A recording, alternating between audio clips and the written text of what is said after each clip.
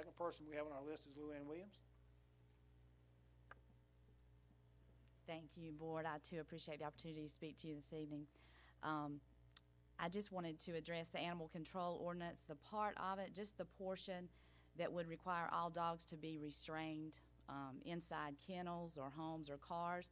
While these type of leash laws are necessary in more urban areas, I do not believe that they are necessary here in rural Stanly County. Uh, many of your constituents are farmers or they're landowners that have significant tracts of land and they use their dogs for security purposes as well as farm um, uses. And fencing in large properties is truly cost prohibitive, uh, and putting dogs in kennels makes them virtually useless as um, protectors or crime deterrents.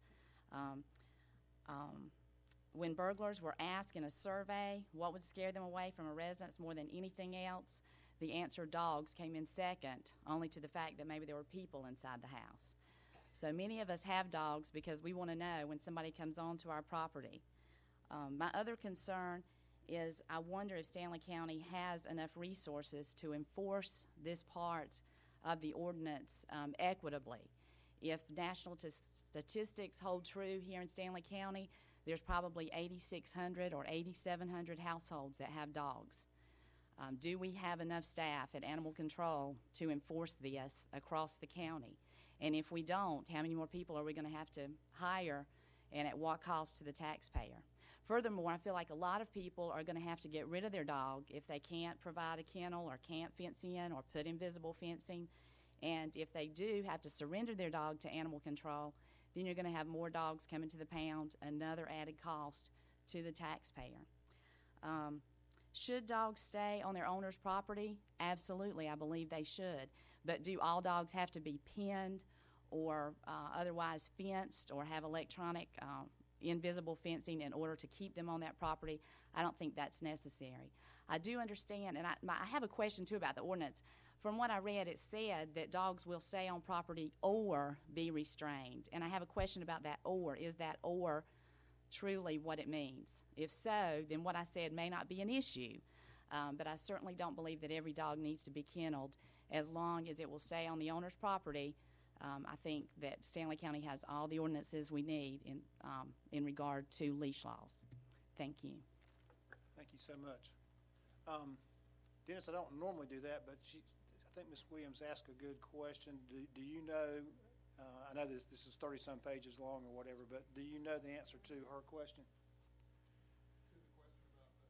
It says, I think your question was, the animal has to be on the property or restrained. And that, that is a little bit different uh, uh, question, I think, than maybe we've had before. And if you don't know, I mean, we- we'll, we'll just have to offer to, to find out. Based on the, um, based on the types of restraint that are defined, uh, it would be, it it probably should be and instead of or, on the owner's property and restraint. Because the types of restraint that we were looking at were um, those items that were listed there, uh, a kennel or fenced area, or it could be on the person's property if they, you know, had it on a leash or was walking it. Uh, Okay, thank, go ahead. Sure. I think she's referring to page 15, uh, Article 4, Section 1. I read that today also, uh, H. Um, Says the owner of a dog shall keep the dog on his property or under restraint at all times. A dog is under restraint if it is, and it lists uh, The types. seven things there. Right. And I think that it, it was a little misleading to me uh, when I was reading through those, that you might could have your dog uh, out in the yard and have him tethered, but then if you read on, it's only if the property is being uh, fixed with a fence or something, or repaired, as I read it. Okay. Is that correct? Yes. And, and I didn't want to, I didn't want to disrupt the, the hearing so Yeah. much as I just want to make sure that I answered your question. And I think Mr. McIntyre has probably found that. And- And so, and you have, I guess, Ms. Williams, you do have a copy of the ordinance. You could look that up on page 15? I do. Okay. But I, I guess my question still remains, is it gonna, I'm not trying to be overly technical, but what I'm saying is, the way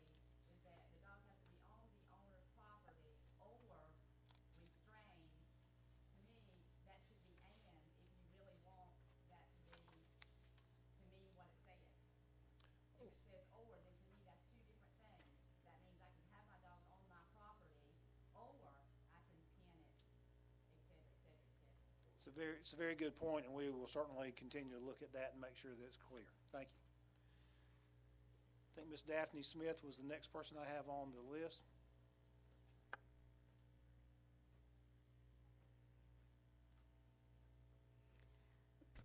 Well, I disagree with, uh, my name is Daphne Smith. I live at thirty-two four thirty-five Guard Road. I was at your meeting last month and spoke about the dog ordinance. Cause back in June, I was almost attacked by a pit bull and so was my daughter and one of my dogs was attacked by a pit bull.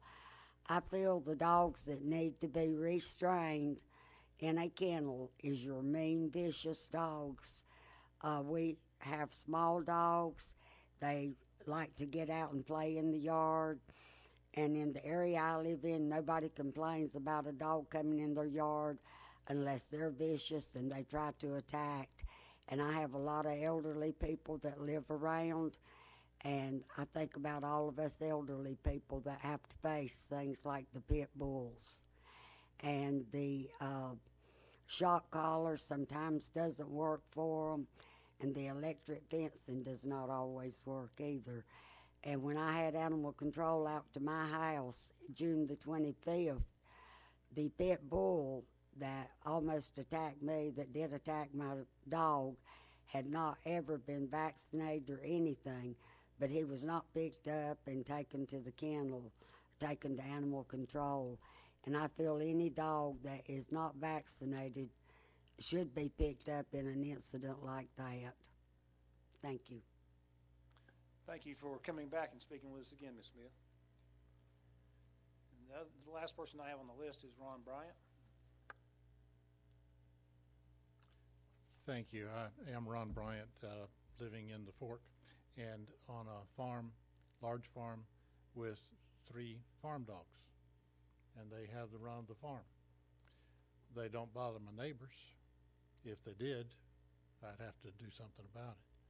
So I'd like for page 15 to keep the or so I don't have to put a six mile fence around my property. Two of the dogs are strays. We adopted them. One of the dogs had a bad situation in Charlotte. We took it on also. Uh, we have folks who visit us sometimes who are elderly, and whenever we have elderly people come, I put them on a leash before they arrive.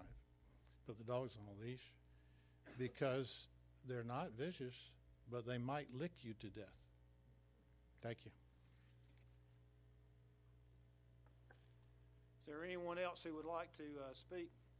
Yes, I would. Okay, if you will, uh, we'll just do it in one, two, three, your order. Come on forward. as- And again, I would ask that you identify yourself Um, and I'm also Bri- then be aware that the manager is going to kind of give you some guidance as to how to speak. Okay, uh, I'm Brian Smith. I live uh, on Stony Gap Road, and with all due respect to dog owners, um, I'm, I own horses, and when I'm riding, sometimes loose dogs, stray dogs, uh, actually chase us and make it a very hazardous situation as a horse owner to be riding a horse with two dogs or three dogs nipping at your horse's ankle as you're trying to ride. Um, I have called animal control several times. I think Officer Harris, and they have come out and written citations, but they have not followed through with any action to do anything uh, concerning these dogs. So um, it is an issue um, with dogs running loose. Thank you. Thank you. And um, I- Mr. Furr, I believe you, you raised your hand. Would you like to come back for one, for another? I'd like to say one thing. As a, as a hunter and a taxpayer and a law-abiding citizen, that, you know, you, if you're hunting beagles or bird dogs or coon dogs, it, you know, I have, when I go hunting, I got a thing about that thick with permission slips signed by the owners of the land that the wildlife has you to provide to maybe a ticket. And that's what I do. But you, the dog, you can't run him on a lead rope. He can't even run around a bit on a lead rope. Neither will a coon dog or bird dog. So I think there should be some revisions of something here as a hunter that's that's you know that's abiding by the law, got his permission slips, you know, doing it all legal. I ain't talking about somebody that's out here just dumping their dogs out and running, as a lot of people do to deer hunt, and they get a bad name for it. And uh, you know, one bad apple makes us all look bad, but not all bad.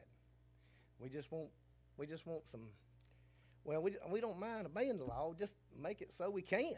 I mean, just give us a chance. You know, we want a hundred dogs, and they have to be running loose. And as far as them running the horses, if it's my dogs, I go there and make them quit running as horses, and turn their hind ends up, or put them like you said. You know, and like I say, I do keep all my hunting dogs confined. Both some of them are tethered, but not with no three foot chain. Now I don't believe in that mess. But uh, you know, so such so they will have some area to run, and I do pet my dog and feed them like you should, as a responsible dog owner. But I would hope y'all would have some revision there here for us hunters. That and you know this brings in a lot of money to the county too. If y'all don't think about it, there's a lot of people that buy corn. There's a lot of people that uh, pay their taxes and buy hunting license and hunting clothes and go over at Walmart's when they you know put out the hunting stuff and see how many people you see there. So just give us some leeway here so we don't make us don't don't make us be lawbreakers. We don't want to be. just don't make us you know get caught or whatever. We just don't want to. We don't. Want, we want to obey the law. One of, one of the things that's been pointed out, um, that, that same section actually, that when it speaks about uh, restraint, there is a section under there, on page sixteen, if you go back and look at your ordinance, that says a, a, um, owner of a dog shall keep the dog on his property under restraint, and it's, restraint is defined, um, under that section as under the control, this is number six, under the control of a licensed hunter while said dog is in the act of hunting. A dog is in the act of hunting when during a season designated for the hunted game. The owner of the dog holds a hunting license as required by the state of North Carolina, and the dog is in fact hunting for said game. So Well, I that- do run that all my should- dogs with shot collars so I can make them listen. That, sh- that should cover your, your request, uh, Okay. underneath there. And that's, that's obviously some of the things that we're looking at as well. Thank you. Thank you. Yeah, sure. Come on up, Billy, and identify yourself and.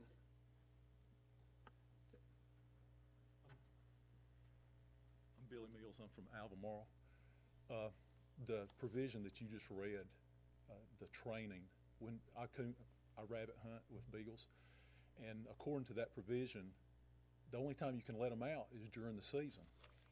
Well, it's just like I coach and I teach high school. We have to train our athletes, and you can't keep them pinned up and feed them all winter long and then turn them out and expect them to go and, and hunt. And as far as rabies concerned, we're out there with them. If there's rabies in the woods, I've been hunting rabbit hunting for 40 years, and I, I've not run. And usually the animals are sick, and if, if they are, our dogs will catch them. But I've been I've been rabbit hunting for 40 years, and I know there's rabid animals, but we've not had a rabbit, and I know it's rabbits, but we still you, you run into raccoons, you run into animals. We're out there with them. One of the best resources, go to the hunters. They're out there. They don't have a yard to send the city. They're in the woods. They go where the the rabbit animals are. The thing about the stipulation, what is that, J, or number six? Number six. Okay. If you do keep that, there needs to be a provision so that we can train our dogs. Because you can't keep them pinned up all, year. and as far as hunting dogs, there's hounds, and you can't say it's just a beagle, because some of our best dogs are not purebred. And they don't fit the mold of a beagle. I've had some of, some of the best dogs I've ever had were mixed. And if you say just beagles or just, and also there's coon hunters, there's, and I don't know if, if all the hunters knew that we were doing this, this room would be full. But as far as the hunters, if you have fox hunters, you're going to have a dog, a hound will go after a fox for a mile. And to be in restraint of that dog is impossible. It's not feasible. So as far as being in restraint, you know, you're going to have to define what restraint is. And a dog can't, I mean, that's what we're worried about. Mean, these dogs are worth, some of them's worth 200 300 $400. And the gas you spend, and it's, it, you can't fit it into a mold to where, okay. I just want to, okay, okay. But anyway, that's, that's just a couple of things. And it's whether it's a lab and you're training for ducks and, and, you know, the hunters are probably the most conscious about the animals is being, being able to take care of them as far as the wildlife concerned, as far as the animals concerned. But you can't keep those beagles penned up all year long and then take them out and say, okay, season's here, go hunt. You kill them. You know, sometimes even their feet, when it's, the ground's froze, You know, you can't take them and run them on, fro- on frozen ground and then take them out the next day and expect to run them again because their feet will be so tender because the ground's froze. But thanks for letting me talk. Thank you. And uh, we have one more person, I think, whose, whose hand is raised. Again, if you'll come forward and identify yourself. How are y'all My name's Jerry Cotton. I have a kind of a unique situation. I live in Richfield, about 900 feet off the road, and there's a vacant lot or not a residence on it, and I got coon hounds or some kind of hounds behind me at 200 feet that barks all the time. And so I've had the sheriff department working with me. But what my request is, give the sheriff department, the health department something. Those things got me captive. I can't sleep. I have to cut the fan and the TV on to sleep. And if I'm out on my patio, you can't enjoy sitting out. I can't eat my breakfast or can't do anything in my gazebo at night. But please give the sheriff department, health department something to do about these dogs. This barking, they just they won't let up. And they got me captive in my house and outside my house. But if you would just give them something to work with on this barking dog stuff. Yeah. Thank you. Okay, ma'am, you come forward.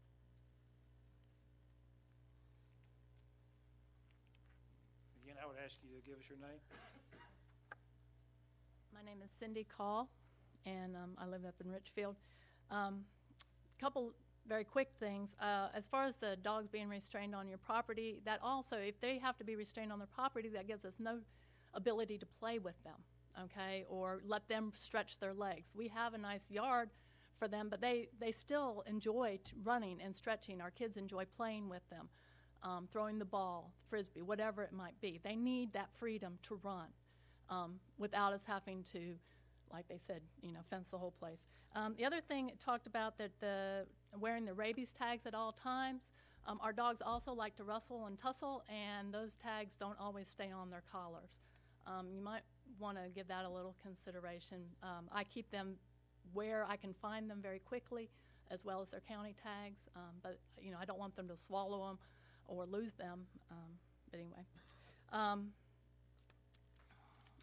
we also in the past have used a, a cable run, um, which we only use periodically. I think that that gives them freedom and, and again, not so close that they don't have room to run. But um, the other big thing that I would like to is kind of changing gears completely is um, the part um, about um, inherently dangerous exotic animals. Um, you have a, um, a part in there, um, it's section or line five says reptiles, insects, or arachnids which are venomous or a constrictor not indigent, indigent, indigenous, that's the word, uh, to Stanly County. I've been practicing that all day. Um, anyway, we at Christ the King Christian Academy have a ball python who obviously is not native to this area. Um, he, uh, a ball python is not one of your Burmese or reticulated pythons that are going to get uh, umpteen uh, feet long. He at most will get to be 36 to 48 inches, um, though some have grown to 60 inches. That's five feet. Uh, he will not get big. He's not dangerous. He's very docile. The kids love him. He's a wonderful education tool. I don't want to have to get rid of him.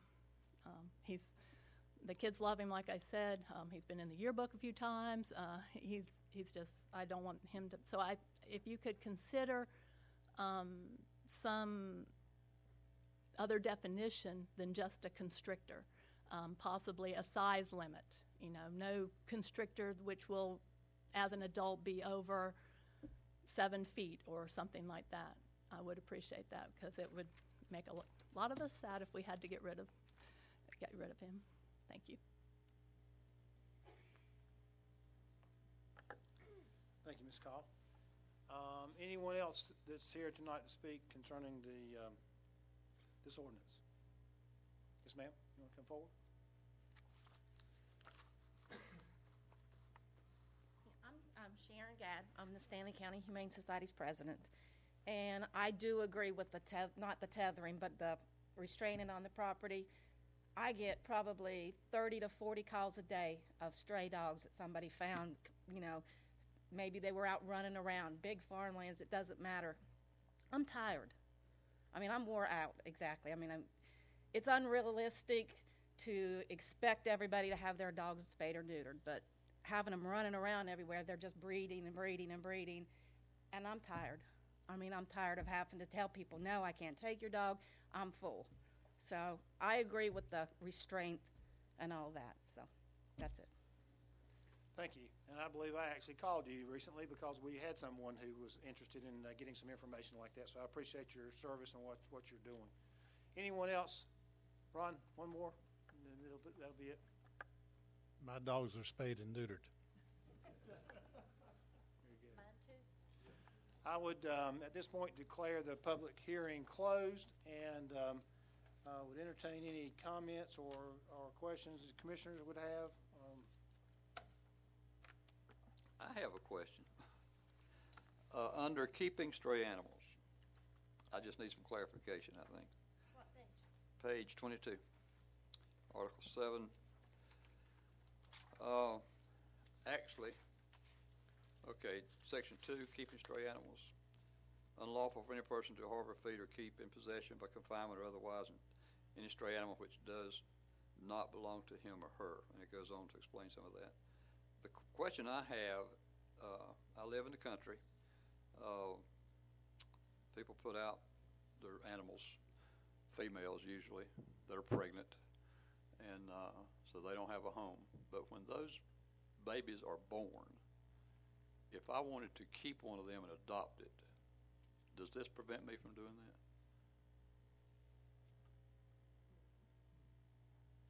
The way it reads, it does. Uh, but I mean, it just says I have to report that within 72 hours. Does that mean report and surrender or? Dennis, if you would come back up to the front so that uh, we can, can hear your answer. Thank you. The intent of the reporting is to perhaps hopefully identify an owner that may be looking for the stray. That's, that's the main, on the front end, and you probably gathered that.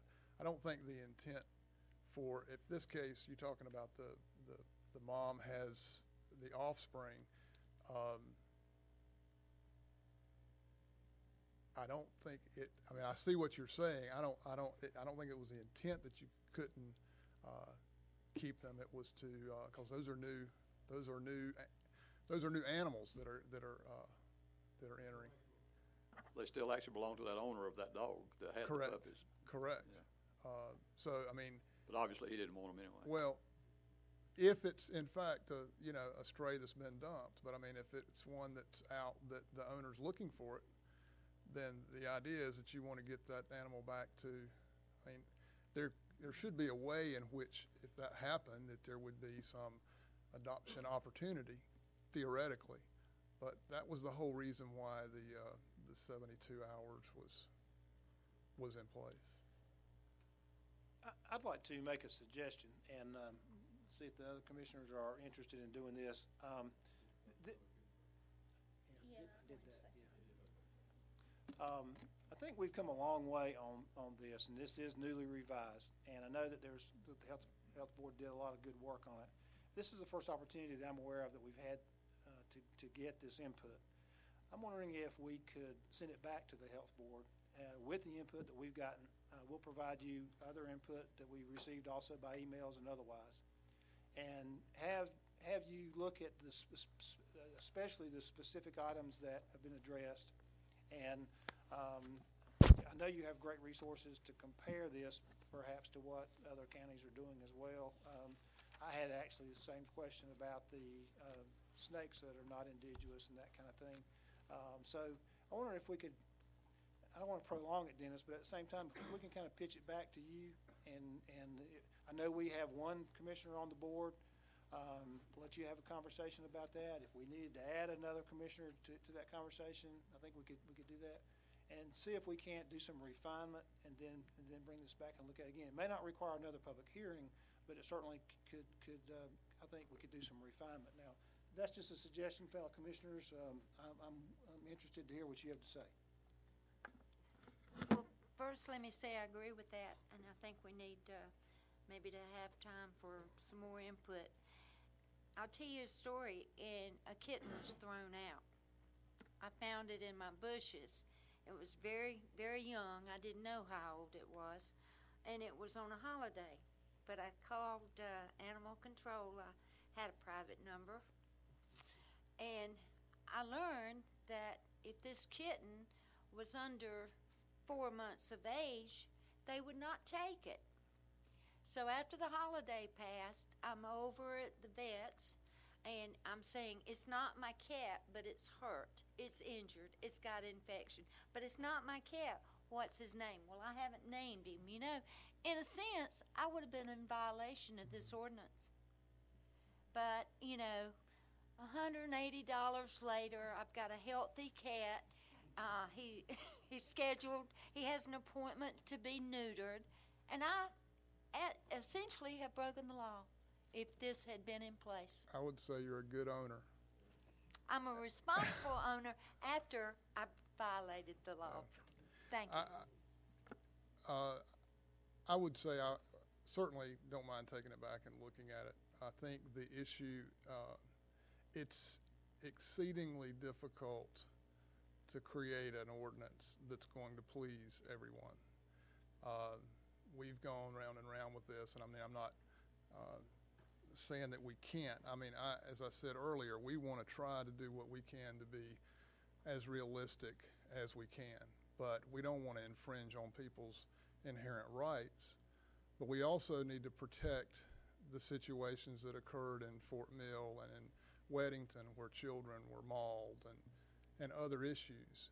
Responsible pet owners uh, are going to guard against that. And it's not, that's not what we're looking for. It's the other issues that our officers are faced with uh, where they need tools to be able to be as effective as they can be. So, I mean, I certainly understand the concerns that people have, and we will uh, go back and look at tweaking some of these areas. And if, uh, questions that y'all have, if you would get them Let to me. Let's find out, first of all, if that's what the commi, that's just a Oh, okay. suggestion. I All want to make Well- sure that if the commissioners are, are okay with that, or whether that's, whether they would like to have some alternative action taken tonight.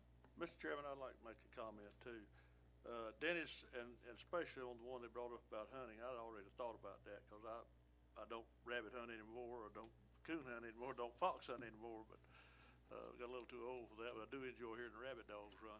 They gotta have some time to train their dogs, so we need to take that, and, and to me, I don't know how you're gonna fix it.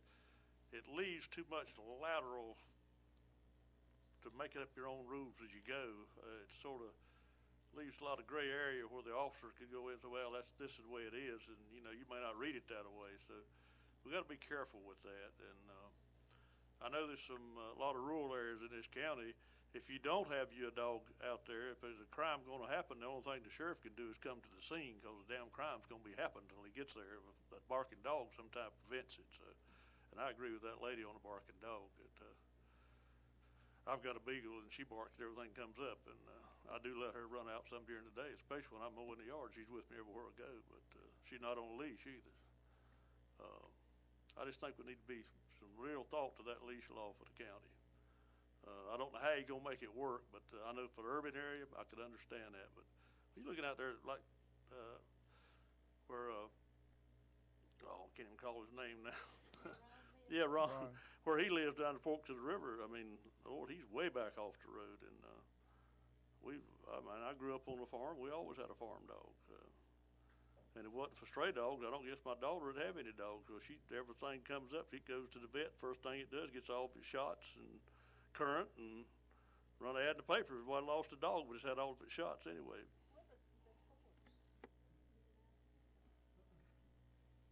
And you know, you, you're looking at like down at the Forks, he got thirteen hundred acres down there, he can't let his dogs run loose. Now, that ain't gonna suit that man too well. And that's according to your law, he can't. Yeah. Is there any other, any other comment by commissioners at this time?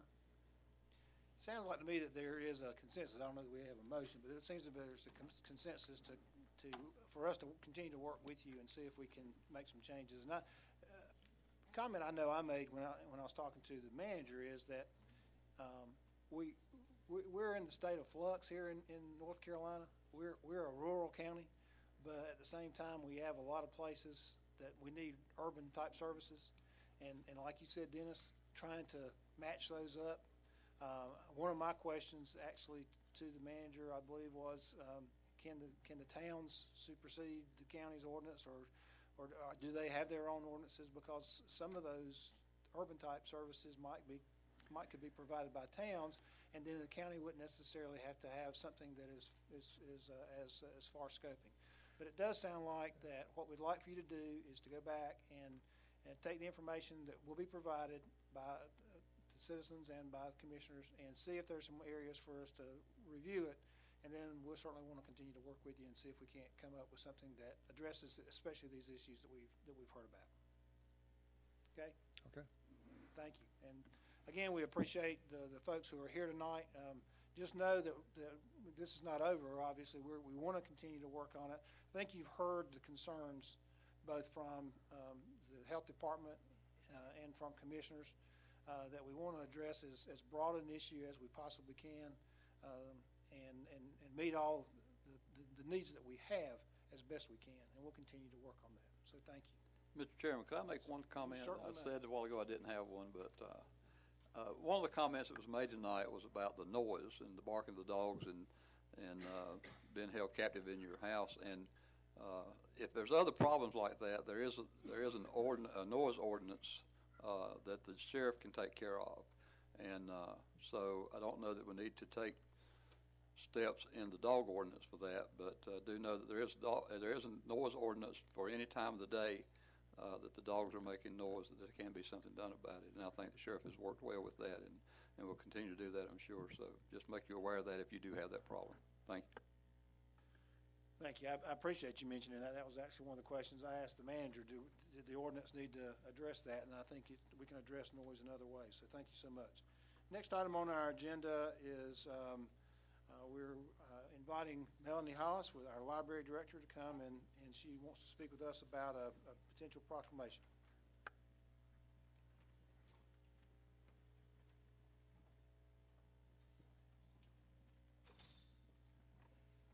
Good evening. Um, You have before you a proclamation that I'm hoping that you will pass tonight um, on our 411 Community Read Project.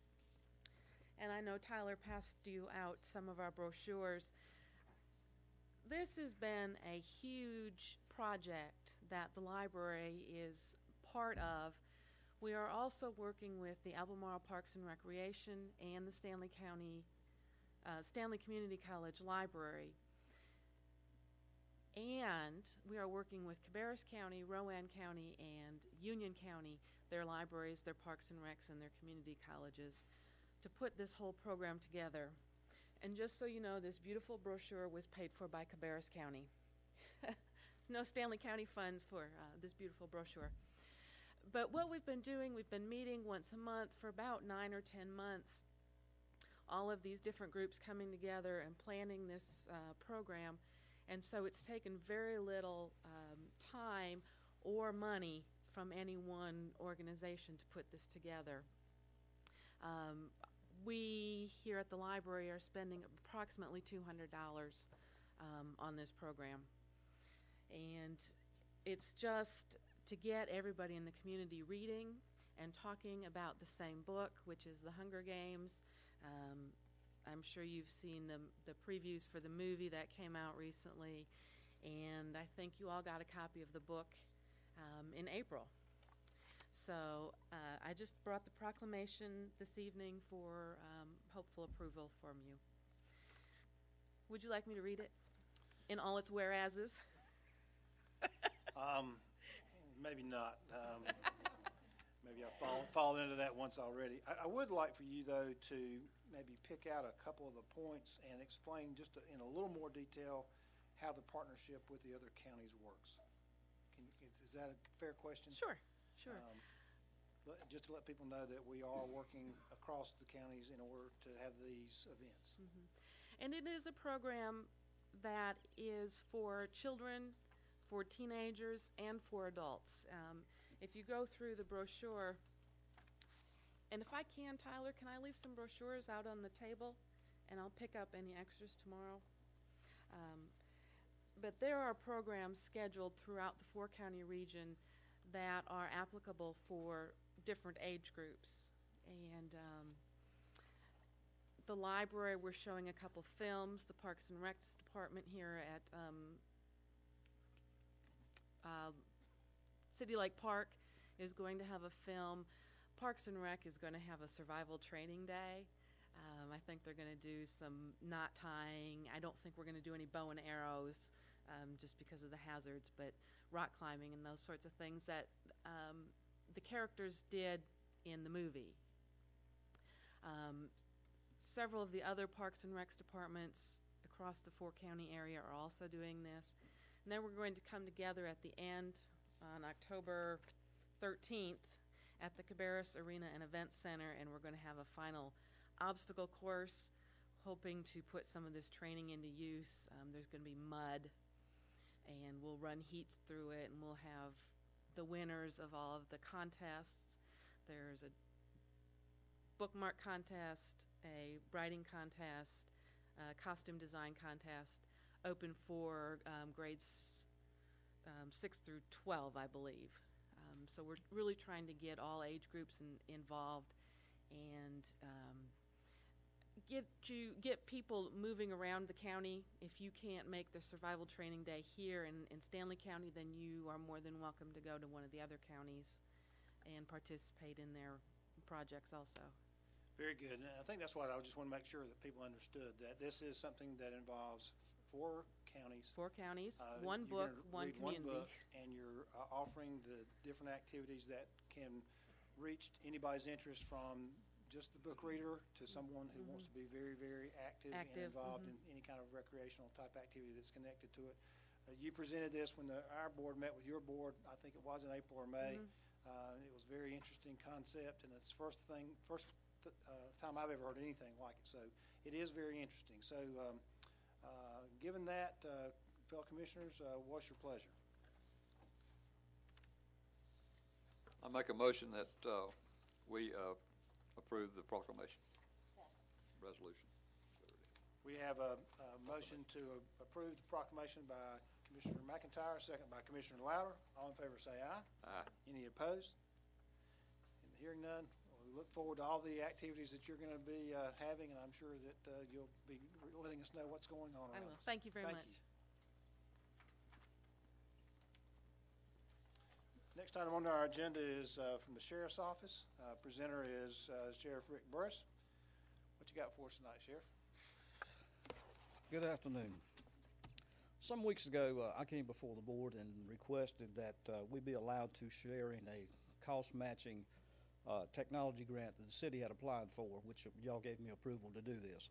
Tonight, I come before you to try to transfer this money from uh, our Pay Tel, uh, it's an inmate telephone service, to uh, to uh, to satisfy these matching grants. This is a sixty thousand dollar grant, twenty-five percent matching fees. Our, our part of that seventy-five hundred dollars. Uh, I would like to add that this is no cost to the, uh, to taxpayers, uh, for any of these transfers. This is, uh, drug seizure money, Pay Tel, inmate service money, that's, uh, revenues from, from the jail. Any questions on, on that, I'll move to the next movement.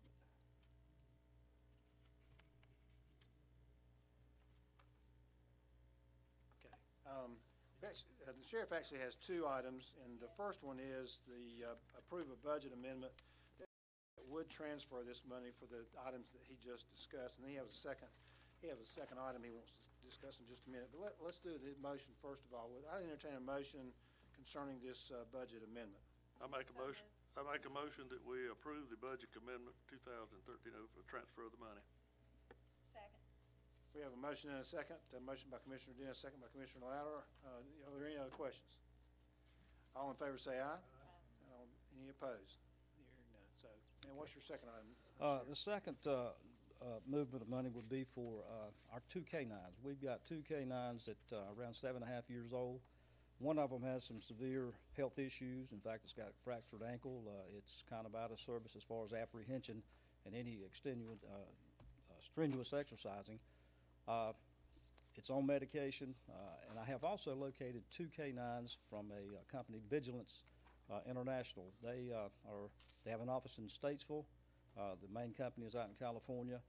They are trying to work their way into North Carolina. Statesville has purchased K-9s from these folks. Uh, The city of Almont has also purchased one, And for the first 10 canines they sell, they're going to sell at $9,500. Now, for the past two canines that we've purchased here in this county, I have, we've paid $14,000. Now, this includes training, uh, the whole, the whole nine yards to get the dog ready to do the, the required uh, work uh, that he has to do. Uh, two of these dogs are going to cost us nineteen thousand dollars. Uh, if, if they're getting very close to retirement age, uh, as I said, they've got some health issues. One of the dogs is still a pretty good dog, but if we don't go ahead and do this, we'll end up having to pay uh, a lot more money less than six months from now, and where they're going to have to be replaced. The normal working years for a, a canine is eight years, and both of these dogs are getting close to seven and a half years old. Uh, the ninety-five hundred dollars, it would be a total of nineteen thousand dollars, which I'd like to move from our federal drug seizure money. Uh, and if we can get that done, then I'll, I'll go on to the, to the next one. Uh, we've got some state seizure money that I'd like to also, uh, move thirty-five hundred dollars. Uh, this will be for heat sensors to go in the K-9 vehicles. Uh, I have put this off for some time, I've got a letter that I've, has been written by our uh, veterinarian that takes care of these animals that highly recommends that we put these sensors in the car. What this does, if the temperature is set at a certain range and it exceeds that temperature, the officer within seven tenths of a mile would be paged, and uh, he would know that he had a problem where the dog wouldn't have, maybe die from hypothermia or whatever the case may be. Also, this money would be these these uh, units cost. We've got a, a discount. They're around six ninety five a piece. They said they'd sell us four for six twenty five. That's going to come up to twenty five hundred and some dollars. We also need to buy two pins, which is going to be five hundred dollars. And I've checked with Stalling Salvage. The materials to build the platform to set these pins on is going to be five hundred dollars for both pins. So that's uh, that's the state drug seizure money. And as I said, this is uh, this is no no cost to the taxpayer. So the second item the sheriff is presenting tonight is to um, uh, ask for uh, approval to transfer money from the federal forfeiture funds and the state drug seized funds for the items that he described, the purchase of the canines that includes training and units to help them with the temperature controls and the, and the pins and so forth. So that's, that's what he's requesting tonight. What's your pleasure? Motion to approve budget amendment two thousand thirteen 3 to transfer money from federal forfeiture funds, And et state. cetera, et cetera, et cetera. Okay. Have a motion by Commissioner Lauer to approve this um, uh, budget amendment to allow for these uh, expenditures. Do I have a second? Second. Second by Commissioner Dennis. Are there any further questions? Hearing none, all in favor say aye. Any opposed? Thank you all good. very Thank much. you, Sheriff. Thank you. It was not in it. Sheriff, I believe there's a third item, that's the, um, the dogs being, um, retired, transferred. I'm sorry. Thank you. Also, I would like to uh, request that the board allow these uh, dogs to be given to their handlers. Uh, We will get a release of liability at the time that we do turn them over to the handlers. I make a motion that we uh, authorize him to go ahead and retire the dogs. Second. We have a motion by Commissioner Dennis, second by Commissioner McIntyre to approve the retirement of the K, two canines and to transfer the ownership to, um, those individuals that, uh, they have presented to us. Uh, any questions about that? Hearing none, all in favor say aye. Any opposed? Okay, thank you. Again, thank y'all.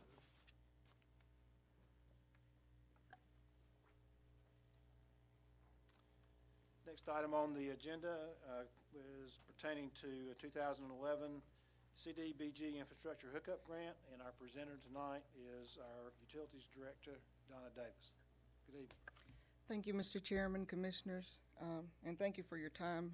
I'd like to present for your consideration this evening a, um, actually three items related to the, the hookup grant. And just for the benefit of uh, the public, I would like to explain a little bit about what the hookup grant is. Uh, the hookup grant is basically funding from uh, Community Development Block Grant, which is federal funding that comes through the state of North Carolina Department of Commerce, to local communities to provide funds for low moderate income households to be able to connect to our water and sewer, water and sewer system. Uh, we understand that as difficult as the economy is now, uh, sometimes it's very difficult for people to access the public utilities that are available to them, sometimes right in front of their homes. And so we have consistently applied for grant funds from the state of North Carolina to assist with this. And I'm proud to say that uh, the county has received um, in excess of uh, three quarters of a million dollars worth of grant funds of this type to provide uh, help of this type to citizens in Stanly County. This particular grant is seventy-five thousand dollars. Um, it requires no matching funds from the county, and um, this is all, again, federal money that is uh, uh, administered by the State Department of Commerce. There are three things associated with this particular grant. Uh, it has been awarded to Stanly County, and uh, what I'm requesting this evening is approval from the Board of Commissioners of the policies, procedures, plans, and resolutions that are given to us by the program administrators with the Department of Commerce Commu- uh, Division of Community Assistance.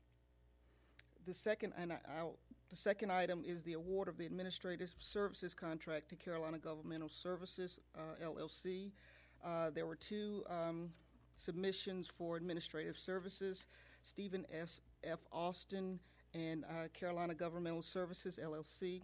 We're requesting that uh, it be awarded to Carolina Governmental Services LLC, which is a new name in our community, but the uh, the folks who are actually doing the program administration are uh, are people who've been working with Stanly County for the last several years and successfully have helped us administer these grants and stay within uh, the Department of Commerce regulations and um, and the, the rules that they require.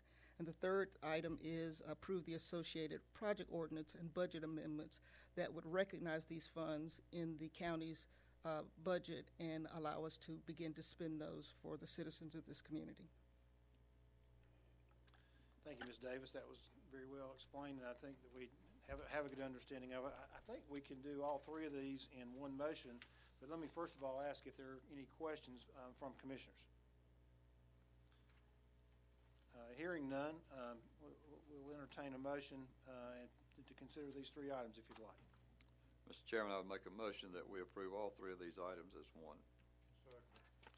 We have a motion by Commissioner McIntyre with a second by Commissioner Morton to approve uh, the uh, package of policies, procedures, plans, to award the administrative services contract to Carolina Governmental Services, and to approve the associated project ordinance and budget amendments.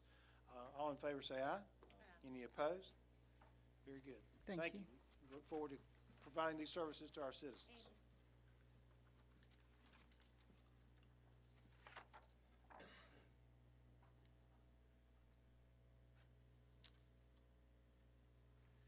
The next item on our agenda um, is related to the uh, 2013 revaluation. And uh, with us uh, as our presenter tonight is Malia Miller, our tax administrator. And I believe you've got uh, a member of your staff, if you'll introduce him, with- with- I'd appreciate that. I do. Thank you. Good evening. I'm Malia Miller, Tax Administrator. This is Charles Johnson, Real Property Supervisor for Stanly County. Charles. Um, he, he's heading up the revaluation for 2013. Um, he'll, he'll give you an update on the revaluation. I had several things I wanted to go over with you, and then, then he'll provide an update for you. Um, I'm here tonight to officially submit the proposed 2013 Schedule of Values. Uh, There are two schedules of values. You have them in your packet. One is for the market value, one is for present use value, which is also known as, uh, sometimes as farm value. Uh, The the Department of Revenue suggests that these two schedules be adopted separately. Uh, The adoption order, which you'll be asked to approve at the October 15th meeting, will clearly identify that it's two separate schedules. Um, There are several things. You've got a timeline in your packet also. You should have a timeline. There are several items that uh, require board involvement. Tonight being one of them, that we submit this schedule of values. That's per North Carolina state statute. The second item will take place this Thursday. It'll be a notice of public hearing. It will be advertised in the Stanly News and Press with the public hearing being held at the October 1st Board of Commissioners meeting. From October 1st to the 15th, we will hear any comments that, that anybody may have on the schedule, and the proposed schedule should be adopted on October 15th you'll notice there are four publications of notice of adoption. Those are by statute, they're required to be published in the local newspaper. And then if there is an appeal to the Property Tax Commission, the last day to do that will be November 19th.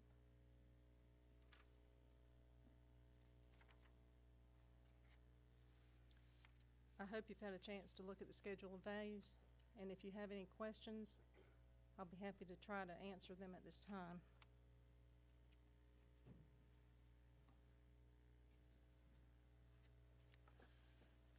Are there any uh, questions at this time from commissioners?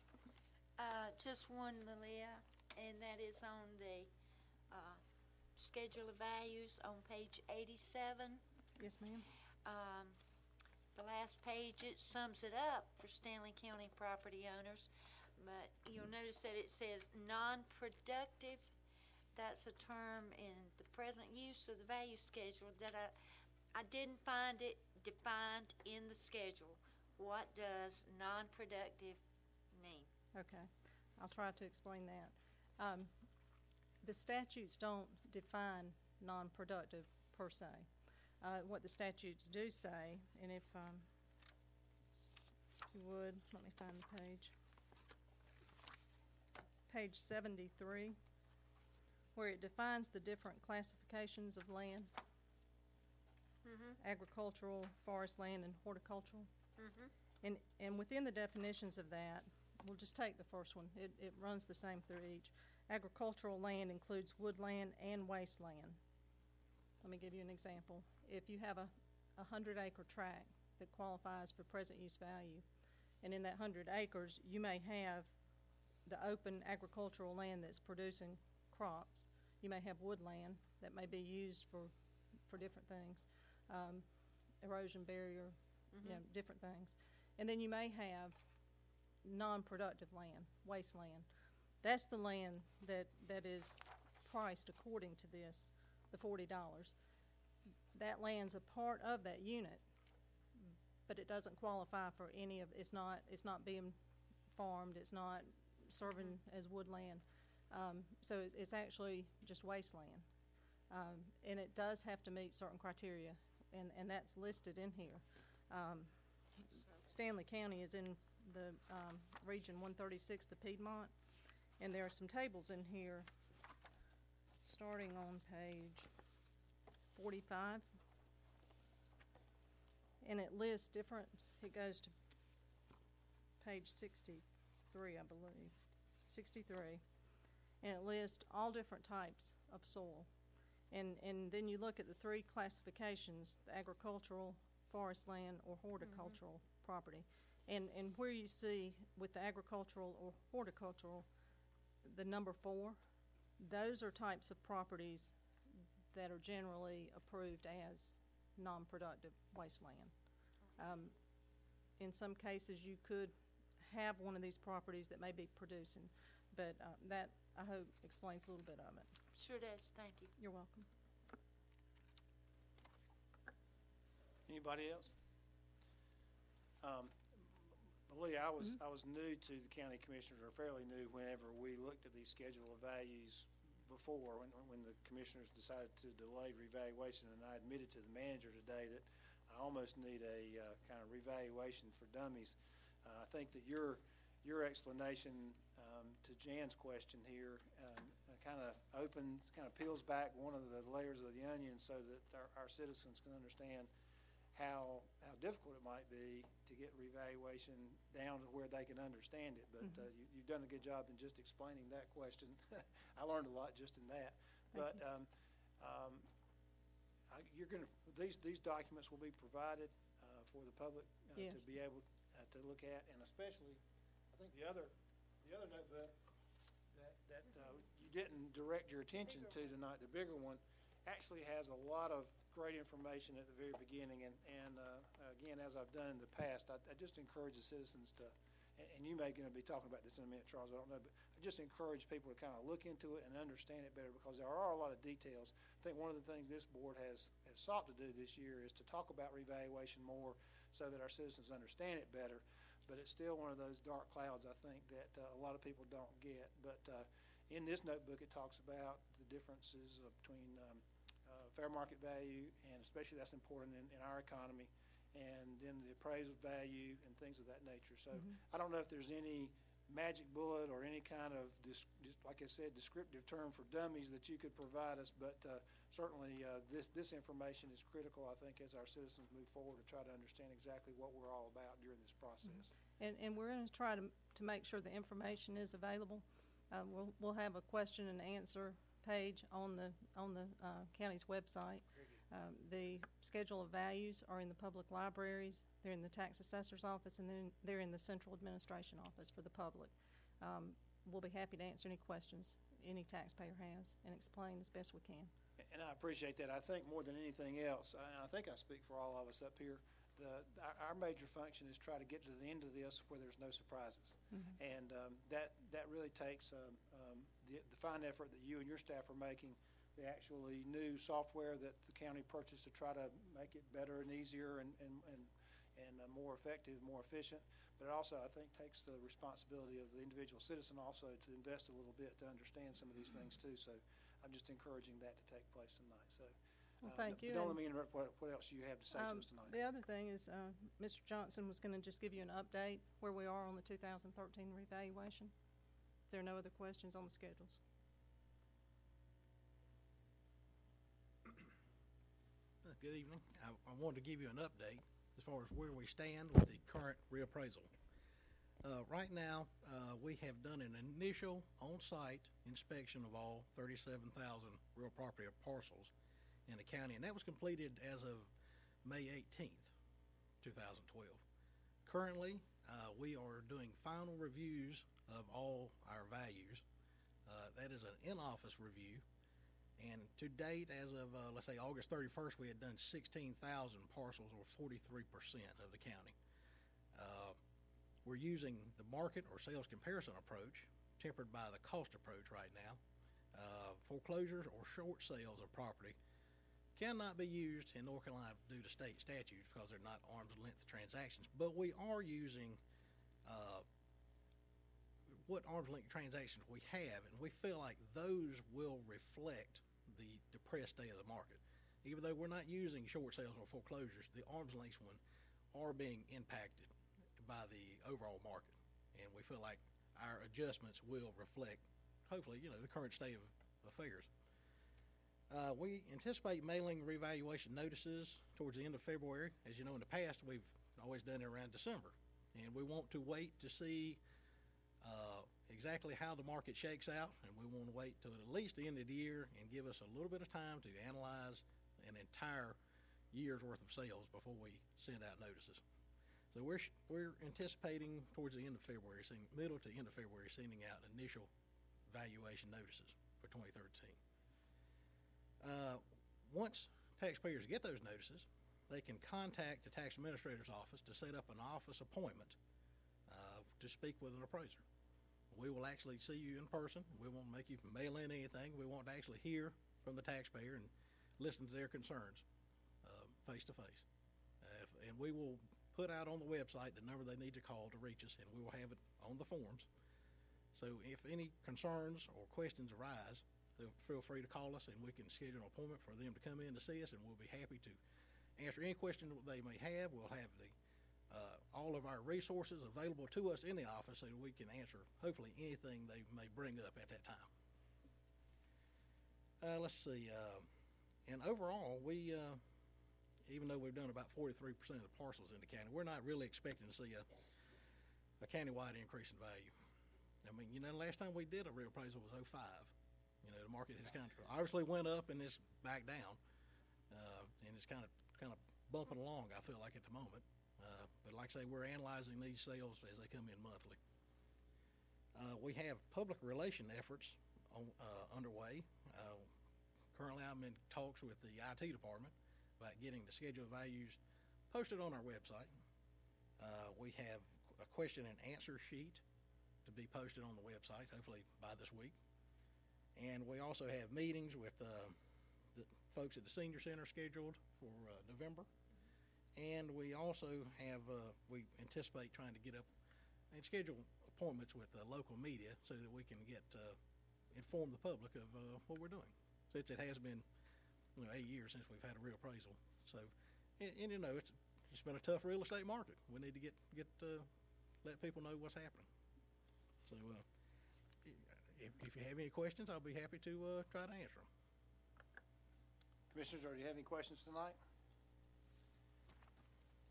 Hearing none, I, uh, as you said, there's no action required tonight for the commissioners. You're presenting this information to us, and we will follow the, uh, the uh, schedule that you've, you've provided as well. We look for a public hearing to be held on October the first. But uh, we certainly appreciate, uh, did I say something wrong? Oh, no, no, no, no. I, Um, I tell you what, I'll be honest with you. I, I, uh, don't do this often, so I, I, uh, fairly nervous, so I'm just enjoying, uh, you know, trying, trying to be as helpful as possible in a difficult look situation. When I said, when I said public hearing October first, you looked at, I had, I thought I saw a question mark. No, But, no, um, I understand fully what, uh, what that involves, yes, sir. Yeah, Yes, yeah. yes, ma'am. Let me, um, let me express my appreciation, and I think I speak for all five of us on, on, like you said, this is something that we haven't done for eight years. And so it is important that we communicate and that we go to the next length, that you guys sound like you're doing very well in trying to make sure that we, uh, educate the public on what this is about, because this is something that everybody's interested in who owns property. And so, uh, appreciate all your efforts that you're making and for the continuing reporting as we go through the process, uh, so that people will understand it. No other comments?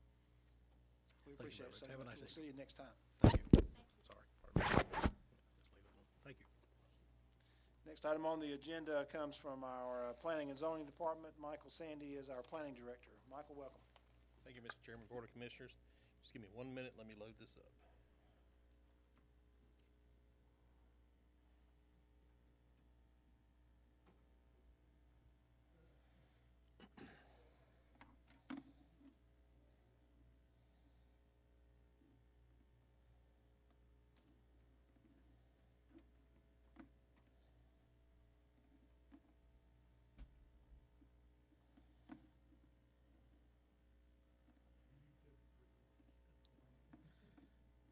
Show me the card.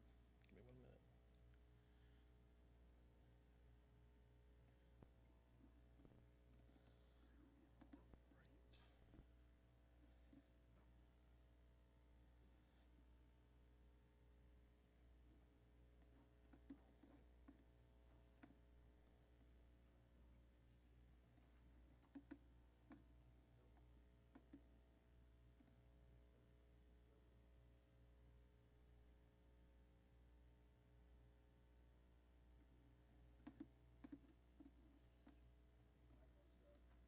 Michael's bringing up the presentation that he wants to make for us. He has several slides. What he's here to do tonight is to discuss the, uh, a proposal for a uh, county Stanly minimum housing ordinance.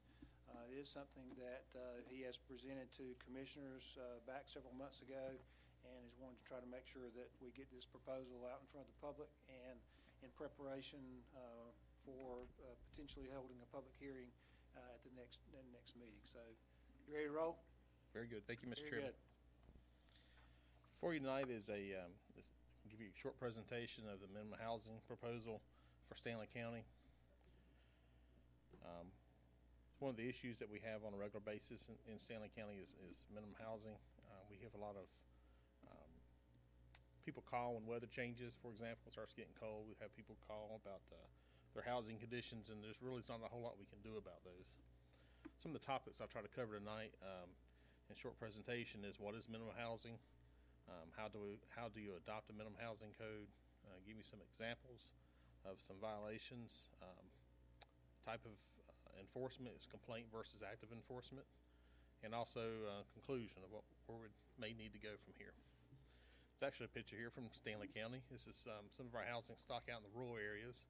Um, some of the urban areas, you, you can kind of expect that as houses deteriorate, but uh, we also have these kind of problems in rural areas. They do they do exist a little more than than uh, you would expect. Minimum housing codes uh, establish the basic minimum requirement for for a place to be fit for human habitation that is acceptable to someone's living uh, place. Typical requirements include structural soundness. Of course, that's to prevent the ca- collapse of walls or floors. You want adequate ventilation um, and safety, a safe water supply and toilet facilities. I think those are self-explanatory. Um, another picture of a house that may have some minimum housing issues. Um, as far as inspections, if an inspector finds that a building does not meet the minimum standards, the inspector can order it to be repaired or closed. Uh, the governing board, which would be you, can adopt an ordinance ordering that the building which is beyond repair be demolished. Uh, most North Carolina larger cities and some counties have a minimum housing code. I copied some of those uh, that I'm able to find throughout the state. Uh, there are 19 counties out of the 100 counties do have a minimum housing standard code. Um, most municipalities of, uh, of you know throughout the state, I think there's 400 some municipalities. Most of those do have some kind of minimum housing code. Uh, Stanly uh, in Stanly County, the municipalities listed Al- as Albemarle, Badin, Locust, New London, and Norwood um, have minimum housing codes. How do you adopt a minimum housing code? Um, counties can adopt it following a public hearing. Ordinance has to meet the state minimum standards, which are spelled out in the general statutes. Options can include how often inspections are performed, what triggers a valid housing complaint, and fines related to code violations. And bring up one thing about code violations. You have major violations, which we talked about briefly about condemnation, not condemnation, but uh, closures and orders to demolish. Then you have code violations where you can actually issue fines. You cannot fine people who have houses that are beyond repair. This is some examples of some uh, structure and plumbing issues. As you can see here, they got water damage in addition to some plumbing problems under their house. It's the actual electric box here in, in the county that, you know, I'm not an electrician, but there's, you open the box up and there's some, some issues that need to be addressed. Um, leaky roof and damaged ceiling as a result um, can quickly damage and deteriorate a house from the inside. Um, this is a house actually in Badin, one of the quadruplexes. This house had several major issues um, that the owners actually are working toward resolving. Jurisdiction, this, uh, if the county were to adopt a minimum housing ordinance, it would apply throughout the county jurisdiction, not just the zoning jurisdiction. It would apply up to the municipal, the municipal boundaries. Um, so those areas that cities claim as ETJ would also be affected by a county minimum housing. We talked about the type of enforcement, uh, complaint-driven versus active enforcement. Um, the draft ordinance that you have before you um, is actually um, a complaint-driven ordinance. Inspections um, sources could be filed through the building or housing inspector. Uh, petition signed by five different residences in uh, in the county, county citizens. The tenant actually that's living there can file a petition. Uh, government agency requests uh, via petition would be like social services, health department, or fire and law enforcement. Um, and also the owner of the property can request a petition. Uh, options to trigger complaint may be put in the ordinance or systematic inspections of all structures, um, but that's not what we're, look, we're proposing at this time. Emergency situations and those uh, coming to our attention, uh, under these circumstances, the um, inspector shall issue a 48-hour repair or vacate notice. Those would be for major items such as broken or burst or inoperable plumbing, or no water service, unsafe or exposed wiring or no electrical service, dangerous cooking or heating equipment, dangerous fuel storage or fuel lines, or unclean or un- unsanitary conditions. With the conclusion, staff uh, will have another tool in our toolbox to be able to help with unsafe and unsightly housing. Tax values would increase over time due to value of property in question, um, and in the property in question and the adjacent properties, improve safety for citizens in those unsafe structures. Also hold landlords more accountable for their rental property. Uh, bring up standards of housing stock throughout the county. Also visual improvements for economic development um, and assist in high grass around those houses. Be glad to answer any questions. Do commissioners have any questions or comments of Michael this evening? I do. First of all, I found a misspelled word, and you'll probably catch that with a draft. Was that the Page ten, sanitary, the word sanitary, Okay. misspelled. Section nine, minimum standards for safe and sanitary maintenance. Page eleven, tall grass. Yes, sir. It Says eight, no more than eighteen inches. I mean, that comes up to your knee. Why don't we go eight inches or ten inches or twelve inches? Is that Most- something you could change or? Yeah, most municipalities do twelve. Um, that was a number we had to kind of justify with being our rural nature of a county, um, trying to balance that. Um, as you can tell from other ordinances I've had to, you know, bring before you before, it's a balancing act between these urban areas and the rural areas and what's fair and equitable. Um, you know, maybe in a, in a tight knit neighborhood, 18 inches would be a lot. But some areas where you have larger, you know, larger lots or it, it's, it's a number that you have to pick. So, Well, I know that eighteen inches would be an improvement for the house across the street from me, but. Absolutely. But I think, uh, anyway, we- I would, we tossed I would say around- twelve inches fit a lot better even out in the. Yeah, we the tossed around 12. We did toss around 12, but, you know, that can be changed. I just make that as a suggestion. Any other questions or comments concerning the uh, draft here? Okay, hearing none, um, the, uh, the request that we have before us tonight is for the county commissioners to schedule a a public hearing uh, for Monday, October the first, to receive public comment. Um, What's your pleasure? I make a motion that we set the public hearing for October first. Okay, we have a motion by Commissioner McIntyre with a second by Commissioner Lowder to set a public hearing for October 1st to um, consider uh, the uh, proposed uh, Stanly minimum housing ordinance.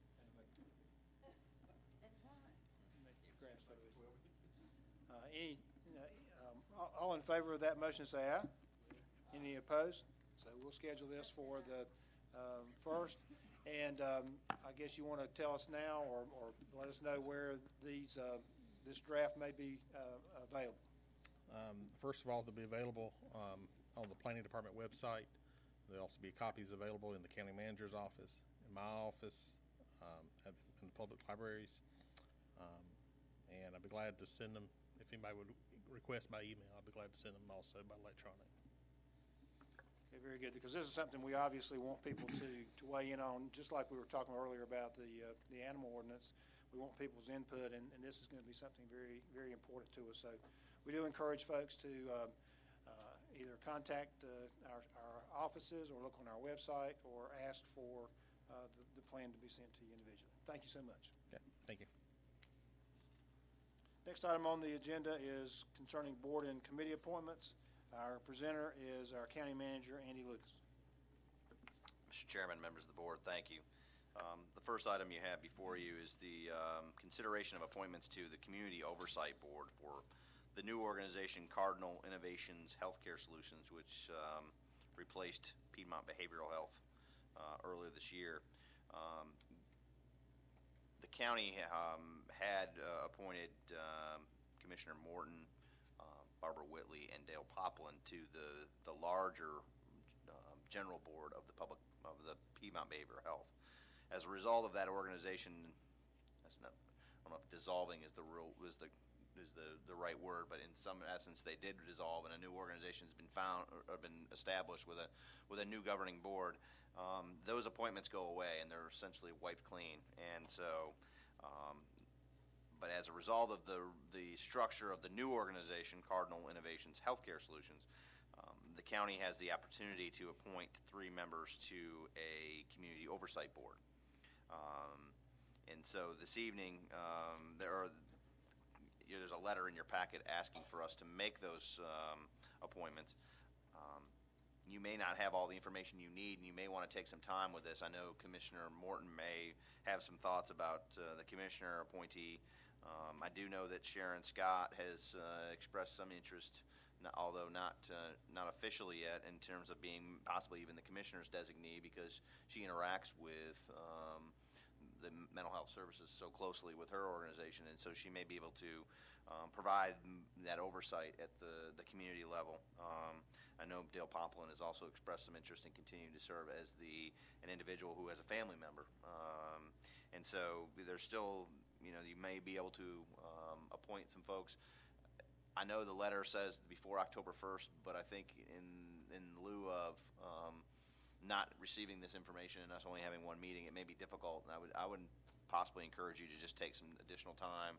Let us, uh, I know that Sharon has contacted Anna Yan with Social Services to make sure there's no conflicts of interest of her possibly, um, participating, and, and then maybe you all taking action, uh, at your October first meeting, um, on this specific item, but certainly, um, I don't wanna, I don't wanna stop you from taking action on any appointments that you may wanna make this evening.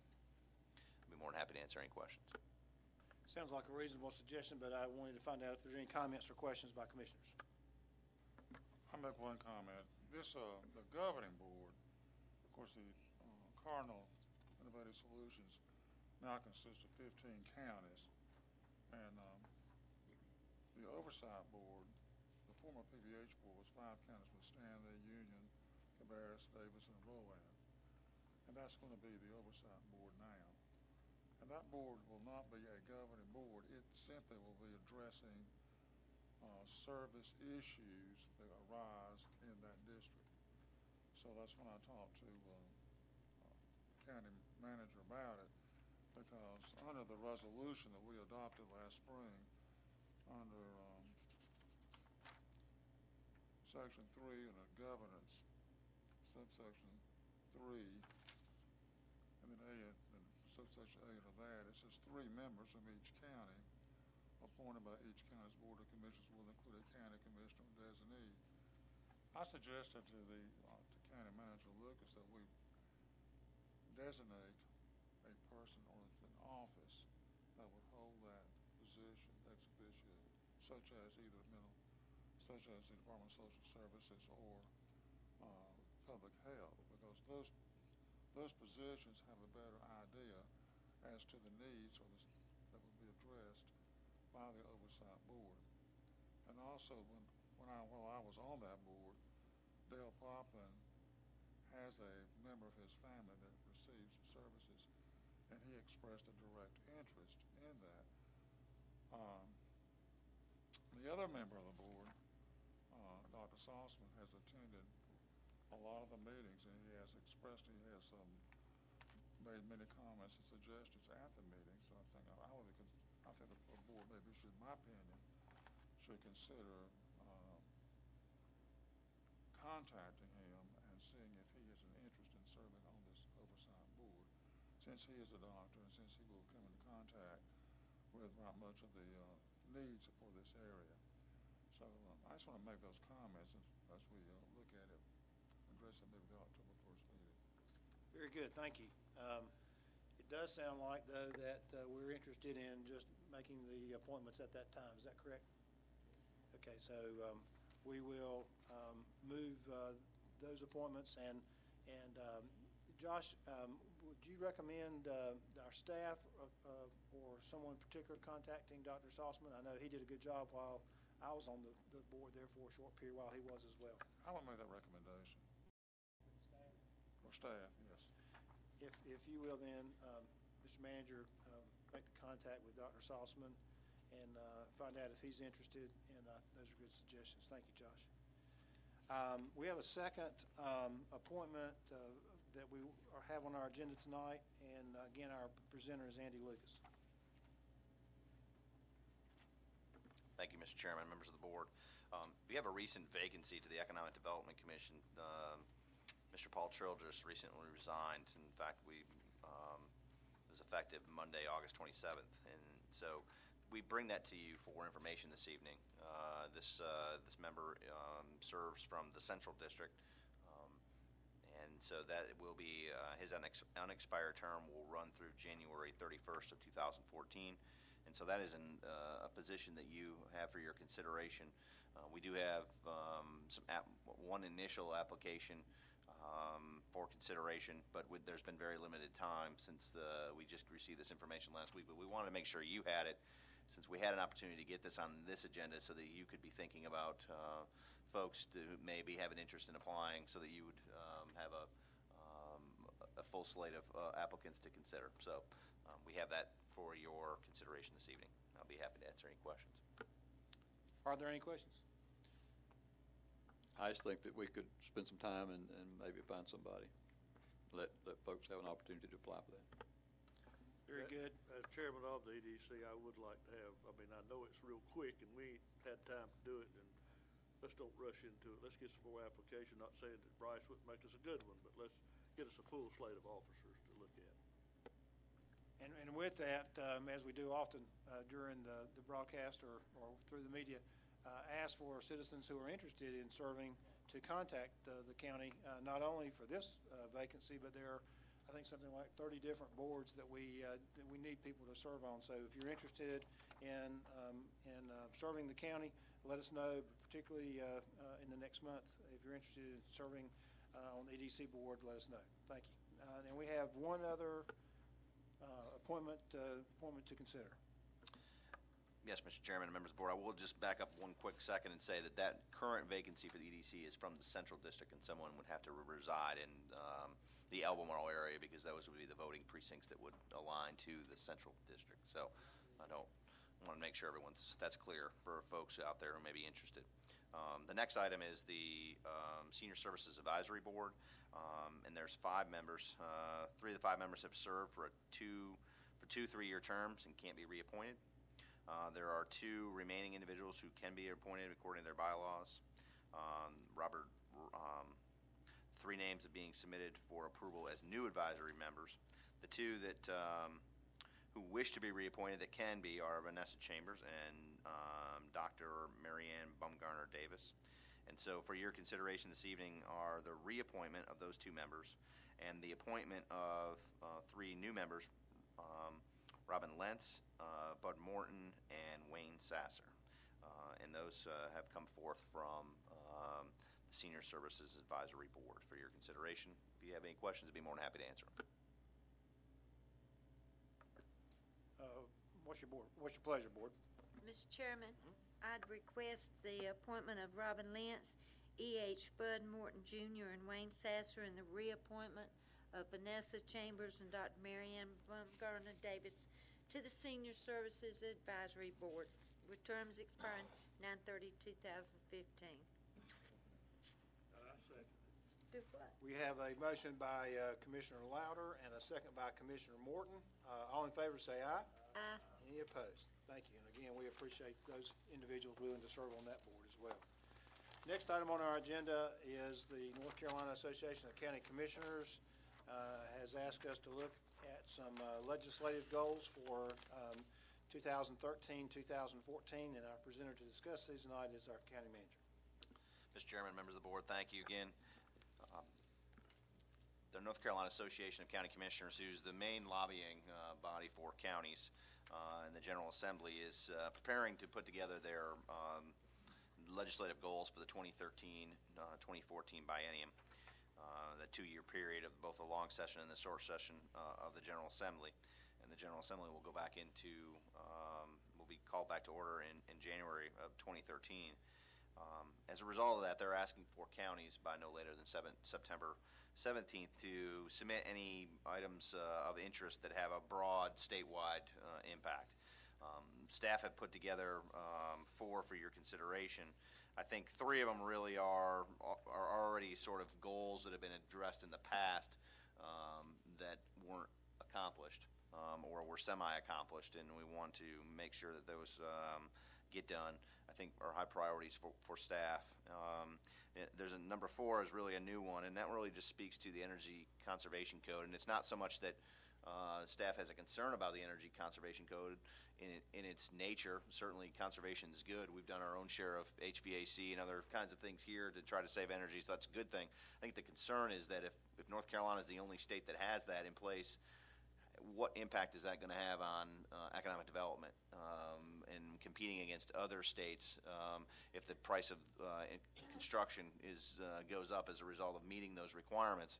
And so, um, you know, if companies are uh, going to have an interest in saving money, they'll invest in you know um, LEED uh, facility buildings and energy conservation measures uh, to save money on their own bottom line and the return on shareholders. And so it, it may be that um, that we've jumped the gun. We don't know, but I think there may be some some um, some prudence in looking at um, whether or not our economic development or our state energy conservation code, what impact that may have on economic development across the state. And so um, that's, a, that's a new one that we would ask, maybe the board's consideration in asking um, the, the association and possibly the General Assembly to take a look at as they convene their uh, long session in January. Um, I'd be more than happy to answer any questions. Uh, the board, what we'd ask for the board is to um, to consider and discuss and possibly approve these items, and then we would include uh, that uh, those motions in our um, in our submittal of these uh, any of the the items that you um, approve this evening to the association prior to September 17th.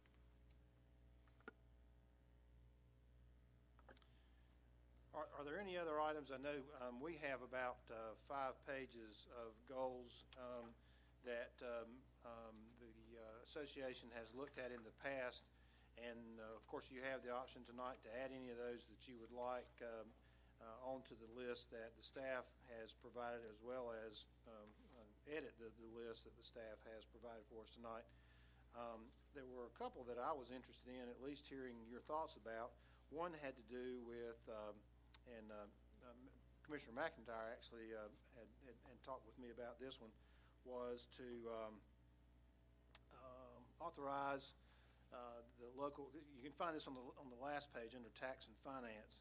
Uh, number two, it says authorize local revenue options, uh, seek legislation to allow all counties to enact by resolution or the option of the Board of Commissioners by voter referendum any or all revenue options from among those that have been authorized for any other county I know our association has looked into this, and we've yet to get the, uh, the legislature to adopt that, but uh, really it's just an opportunity for us, for, for example, in Stanly County, to take a, a vote to the, to the voters uh, without having to get uh, permission by the, uh, General Assembly.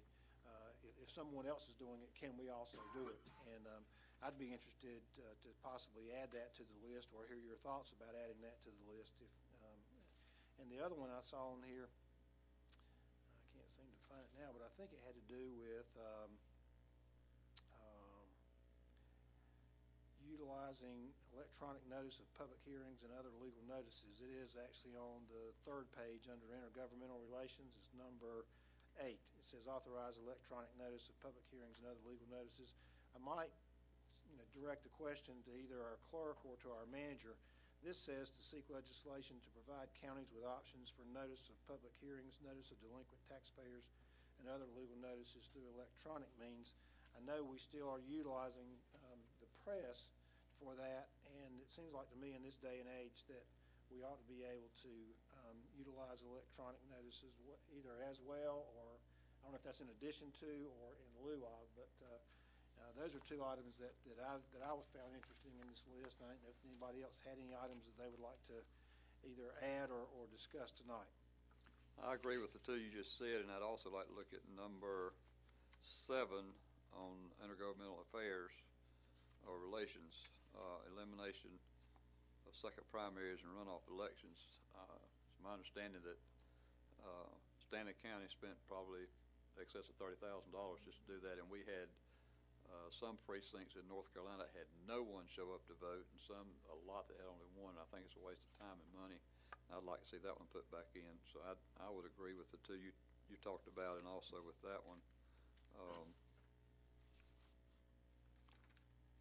I think that's a good one too, um, Commissioner McIntyre, because what, we've, what we've discovered is that it doesn't ever, the, the research says it doesn't change. It doesn't change the outcome either. We're spending money without changing outcomes. So I think that's certainly something for us to continue to study. Anybody else? I, I guess what we need then would be a motion um, to um, uh, support uh, and approve the legislative items that um, the staff has provided and to add these three that have been mentioned tonight. Make that motion, sir. We have a motion. We have a motion by Commissioner McIntyre with a second by Commissioner Lowder that we submit the seven items that we spoke of tonight uh, to the association to be considered as their legislative goals. All in favor say aye. Aye. Any opposed? Same sign. Okay, thank you. Is that uh, what you need? That's it. Thank you. Thank you. Next item is uh, a clarification uh, pr being provided to us on a request that we actually uh, heard at our August the 6th board meeting concerning um, donated uh, items. And um, our presenter tonight uh, for that will be our county manager, Andy Lucas. Thank you, Mr. Chairman and members of the board. Um, At the August 6th meeting, uh, Representative Homes of Hope approached the board about uh, donating surplus property, specifically um, desktop computers. And general statutes certainly allow the board to do that. We currently um, surplus all of our property using an online um, auction site, uh, GovDeals, and it has paid dividends. Um, We have actually seen our um, um, revenues increase uh, through this means of um, donating property because we can do it multiple times a year, uh, and it broadens the audience by which uh, to bid. Um, and I believe that uh, you know to change that process or to donate to a nonprofit, and it may start with computers, but the next thing you all may be requested for vehicles and other things, and so it's sort of a slippery slope. I think that you know these computers certainly Homes of Hope is a is a good organization and they do good things, and we want to be supportive, but at the same time these computers sell for a fairly nominal cost uh, out, uh, and they would have an opportunity. They have an opportunity to bid on these things like everyone else. Um, and certainly, we'd be even willing to work with them if there were five or six computers that they were interested in. We could put, package them together as a lot and put them out on the auction site individually um, or as a group, and they would have the opportunity to bid on those along with anybody else out there um, that has access to the internet uh, to bid. And so, we just feel like our our um, our current process uh, provides a level playing field, um, and you know it, it maximizes our our, non, our non-property tax revenues. And it's our recommendation at this time that uh, the board just maintain this approach to uh, surplusing property. I'd be more than happy to answer any questions. Does anyone have a question? Hearing none, what's your uh, recommendation? Make a motion, we accept recommendation to maintain current process for disposal surplus personal property. Have a motion by Commissioner McIntyre and a second by Commissioner Lowder to accept the staff recommendation. All in favor say aye. Any opposed? Thank you. Uh, Last uh, agenda item is the consent agenda. I would entertain a motion to approve. So moved. We have a motion by Commissioner Dennis and a second by Commissioner McIntyre to approve the consent agenda. All in favor say aye. Any opposed? We con- Consider the consent agenda approved. Um, We always have a, um, typically, we have a time for public comment. Uh, I don't see anyone in the room right now um, uh, that uh, may be interested in making a public comment. Anyone who would like to may come forward or wave me down. Um, Otherwise, we have an opportunity for general comments, and I will start on my right with Commissioner Dennis. No comment. Commissioner Lowder. No comment. Go all the way to my left with Commissioner Morton. Commissioner McIntyre. No comment. County Attorney. No comment, thank you. Uh, County Manager. No comment. Thank you, sir. Okay. The only, the only comment I had tonight was I wanted to um, uh, congratulate our, our airport authority on adding uh, Presley Aviation. Um, They're going to be providing a service out there, um, renting our old terminal and uh, providing a service teaching people how to fly. Uh, It'll be good for our county and will bring people here, and uh, we certainly wish them the best, and we're glad that they're a part of our, our operations. I believe we've signed the lease. Uh, They will, they will have uh, some people located out there that will be teaching, and and that provides jobs, and it also, uh, they will be uh, uh, taking over the responsibility of paying the utilities for the terminal, which will save the county money, so, And also basing four aircraft here. yeah, that's right. And th- we get And- taxes on that too, right? And that's a hometown boy that is gonna be the flight instructor that's now gonna be working in Stanly County. Very good. So we're excited about that, and we welcome them. Um, At this time, I would uh, consider um, a motion that we go into closed session in accordance uh, with our general statutes to discuss 401 water quality permit intervention, the uh, public records, and um, consult with the attorney, uh, attorney on the class action lawsuit.